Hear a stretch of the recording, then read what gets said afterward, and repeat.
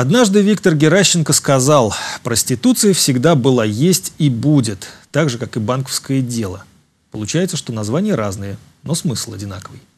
А между тем Центробанк ограничивает доходность по вкладам населения. С 1 июля изменились правила для банкиров. Теперь размер отчислений в фонд страхования вкладов будет привязан к уровню ставок банков по вкладам. Чем выше ставки, тем больше отчисления. Если банк укладывается в базовый уровень доходности вкладов, он будет платить отчисления по базовой ставке 0,1%. В случае превышения базовой ставки кредитная организация за весь этот квартал должна будет заплатить в АСВ взносы по повышенным ставкам. В связи с этим банкам придется внимательно следить, чтобы их обещания доходности по вкладам совпадали с правилами Центробанка. Так что сверхвысоких депозитов теперь не будет. Вот еще бы с кредитами так сделали. По данным агентства «Интерфакс», «АвтоВАЗ» намерен приобрести 100% акций ОАО «АвтоВАЗ Транс», принадлежащего корпорации «Ростех».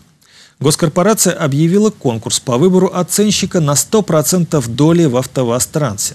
Оценка проводится для целей принятия управленческих решений. Рассмотрение заявок на конкурс и подведение его итогов запланировано на 1 июля. Продажа планируется на открытом аукционе. По результатам оценки будут определены сроки продажи.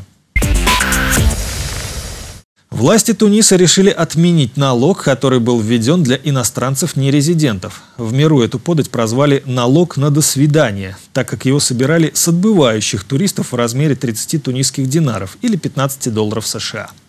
Первопричина такого введения – создание возможных бонусов для туристов, чтобы хоть как-то увеличить турпоток, рухнувший после теракта в Суссе.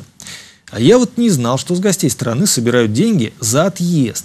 Некоторым логично было бы доплачивать, чтобы уезжали быстрее. А вот представьте, что будет, если, к примеру, Чехия введет такой налог. Наши там нагуляются вдоволь, а как уезжать? Извините, поиздержались, деньги йог. И можно продолжать гудеж на законных основаниях. Курс доллара на 2 июля 55 рублей 47 копеек. Курс евро 61 рубль 65 копеек. Золото стоит 2089 рублей за грамм. Серебро стоит 27 рублей 88 копеек за грамм. Цена нефти марки Brent 62 доллара 97 центов за баррель. На сегодня это все. Удачи в делах.